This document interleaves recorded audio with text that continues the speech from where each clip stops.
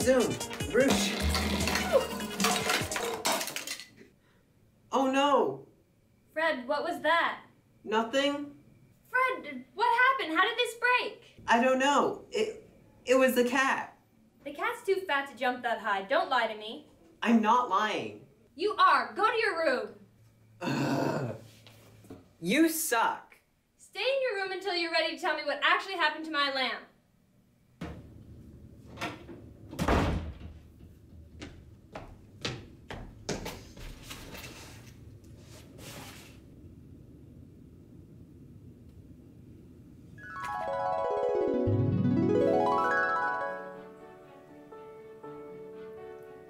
Hello, Faithful Crew. Welcome aboard, Captain. I assume we're ready for takeoff. Yes, Captain. Alright, let's go. Captain, there's an alert coming from a nearby planet. It's a distress signal. People are in trouble. You, set a course for that planet. Tell them we're on our way.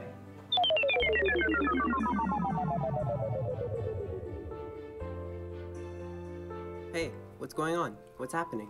President Merv is mad at President Irv because he knocked over the president's favorite cup while giving him some files. He won't apologize for it.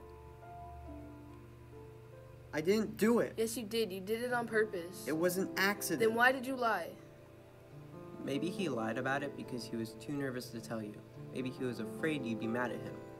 If you had just told me the truth, I wouldn't be as mad at him about it because it wasn't on purpose. I'm sorry. I will be more truthful next time. I guess that's settled then. Thank, you, so, much, for helping us out today. No problem. If you need any more help, you can ask me to come back here anytime. We, We will. will. Maybe I should have told my mom the truth about the lamp. She wouldn't have been as mad about it if I explained to her that it was an accident. I should have taken responsibility for my actions and not blamed it on the cat. When I get back home, I'll tell her the truth and apologize for my actions.